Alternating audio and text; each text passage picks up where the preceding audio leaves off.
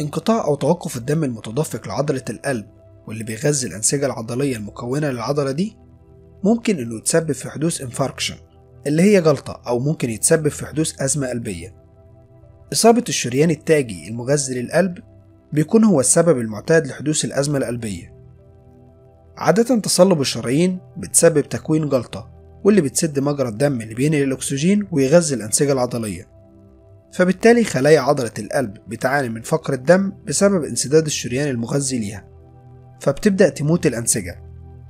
موت الأنسجة المكونة لعضلة القلب بيفقد العضلة وظيفتها فبيأثر على انقباض البطينات اللي بتضخ الدم للجسم وبيقلل كمية الدم المدفوعة من القلب فبيحصل سكتة قلبية ونقص في النتاج القلبي. واللي ممكن بعد كده يعرض الأنسجة العضلية وعضلة القلب للخطر.